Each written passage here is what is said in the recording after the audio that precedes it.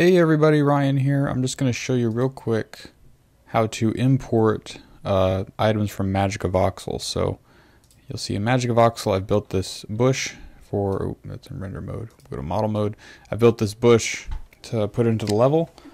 What we'll do is we'll just go to, this, should, this will be collapsed maybe. Uh, you go to export and you can select OBJ and then we can call it whatever we want. I actually already exported it, but I'm just going to call it that and I'll just rewrite it re uh, right over it. So get there, hit save, replace, Magica Voxel, export. You'll see it gave us uh, this object and then it also gave us a PNG which is the color palette of the bush. So what we're going to do is we're going to go over to Unity.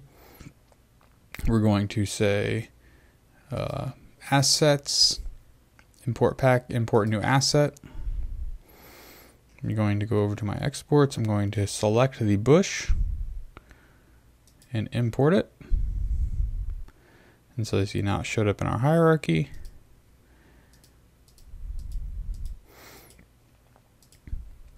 Now we didn't get that PNG, so we're actually going to assets, import new asset.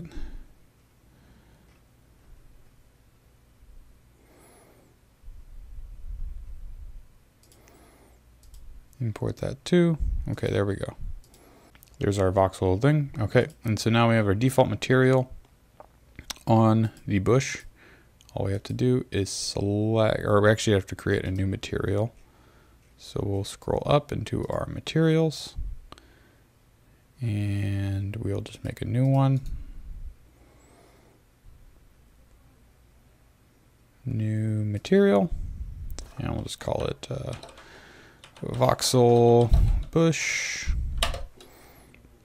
It's a blank material. We're just going to click that little box in the albedo uh, field, and then we will select our color palette there. Actually, we have to drag it over actually. So we'll go to voxel bush, take our voxel bush PNG, I'll drag it over there. And then we can throw our voxel bush into the scene.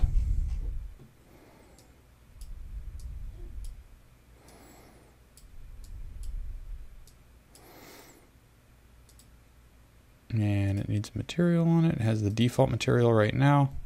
And then we can just add the voxel bush material onto it. And it'll paint it. And that's it. That's how you add in a voxel uh, item into Unity uh, and get the colors to match up with it. All right. Hope you guys enjoyed the video. Thanks.